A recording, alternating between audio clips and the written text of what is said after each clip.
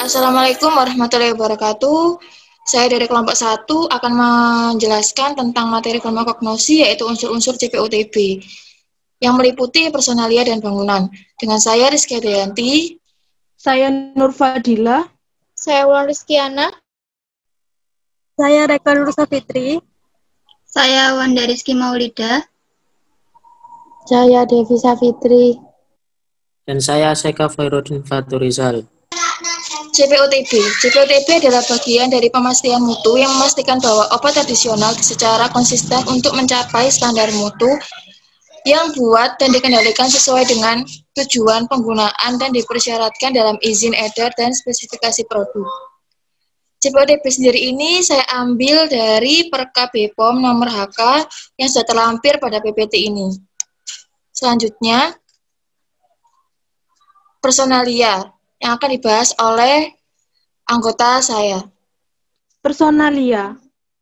Personalia meliputi personalia di sini meliputi prinsip, umum, personalia kunci, organisasi kualifikasi dan tanggung jawab, serta pelatihan. Untuk pengertian dari prinsip dari personalia yaitu Prinsip dari personalia sendiri adalah sumber daya manusia yang sangat penting dalam pembentukan dan penerapan sistem pemastian mutu yang memuaskan dan pengobat, pembuatan obat tradisional yang benar.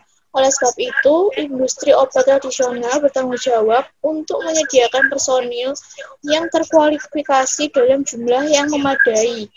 Untuk melaksanakan semua tugas ini, seluruh personil hendaklah memahami prinsip CPOTB dan memperoleh pelatihan awal mem memiliki berkesinambungan termasuk instruksi mengenai hygiene yang berkaitan dengan pekerjaan. Perka BPOM nomor HK. Industri obat tradisional hendaklah memiliki personil yang terkualifikasi dan berpengalaman praktis dalam jumlah yang memadai dan juga harus memiliki struktur organisasi, tugas spesifik, dan kewenangan dari personil pada posisi penanggung jawab hendaklah dicantumkan dalam uraian tugas tertulis. Selanjutnya akan dijelaskan oleh rekan saya.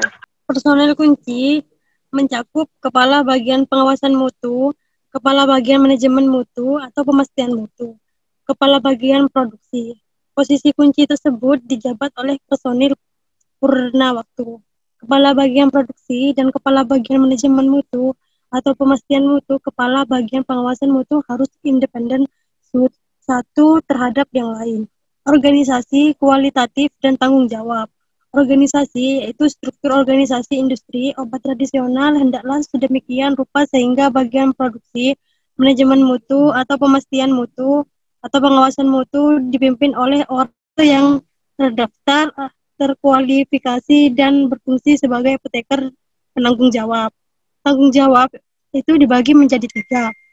Kepala bagian produksi uh, memastikan bahwa obat tradisional obat tradisional diproduksi dan disimpan sesuai prosedur. B. Memberikan persetujuan petunjuk kerja yang terkait dengan produksi dan lain-lain. Yang kedua ada kepala bagian pengawasan mutu yaitu dibagi menjadi dua bagian. Yang pertama, menyetujui atau menolak bahwa bahan awal, bahan pengemas, produk antara produk ruahan dan produk jadi. Pemeriksaan pemeliharaan bangunan dan fasilitas serta peralatan di bagian pengawasan, mutu dan lain-lain.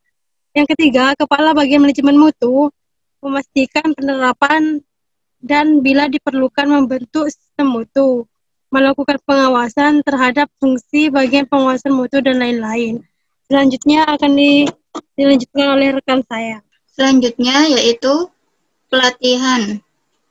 Industri obat tradisional hendaklah memilih memberikan pelatihan bagi seluruh personil yang karena tugasnya harus berada di dalam area produksi, gudang penyimpanan, atau laboratorium, termasuk personil teknik, perawatan, dan petugas kebersihan.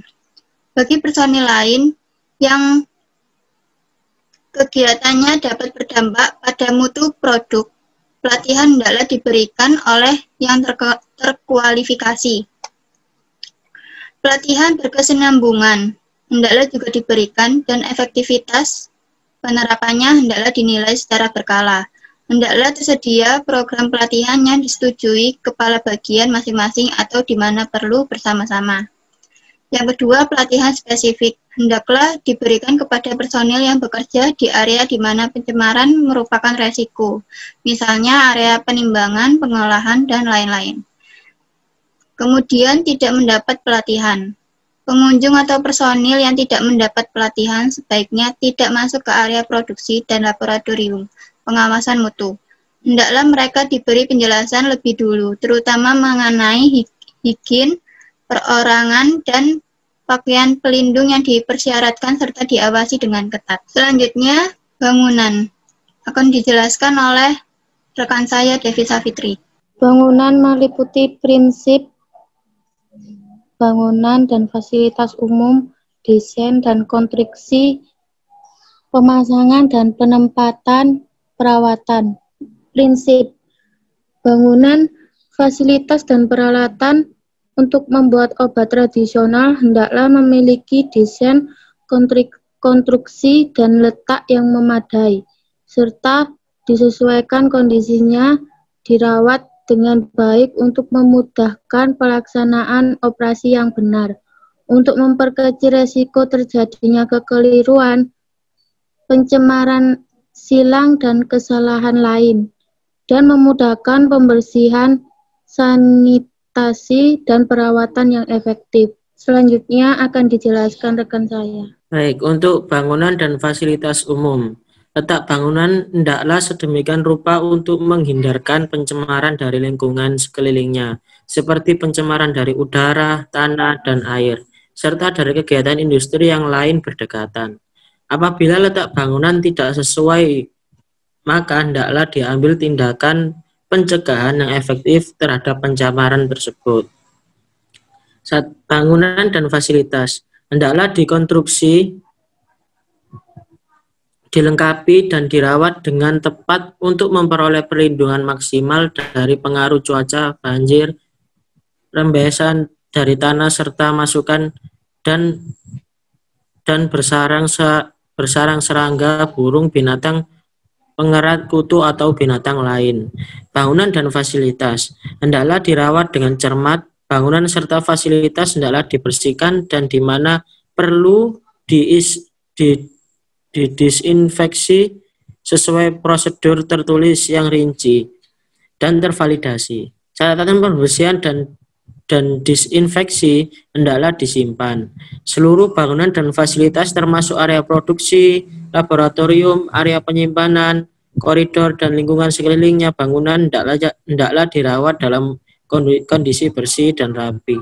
Tenaga listrik, lampu, penerangan, lampu penerangan, suhu, kelembapan, dan ventilasi adalah tepat agar tidak mengakibatkan dampak yang merugikan baik secara langsung maupun secara tidak langsung. Desain dan konstruksi. Desain dan konstruksi peralatan dalam memenuhi persyaratan sebagai berikut.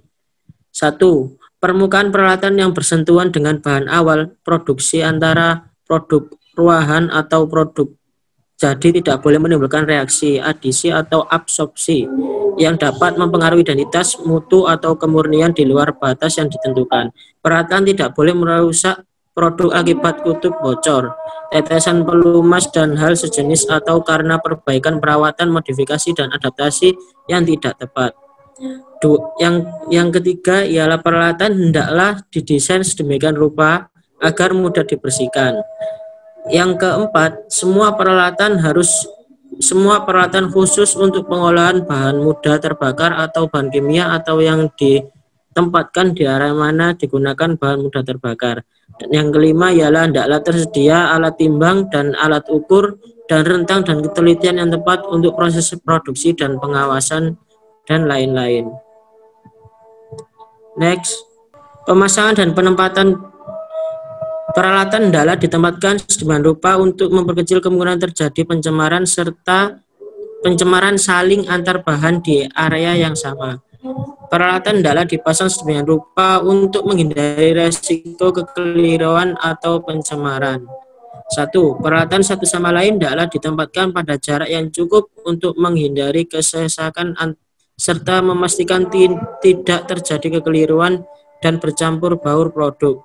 Dua, semua serbuk dan kulit mekanis terbuka hendaklah dilengkapi dengan pengaman. Tiga, air, uap, dan udara bertekanan atau vakum serta saluran lain hendaklah dipasang sedemikian rupa agar mudah diakses pada tiap tahapan proses.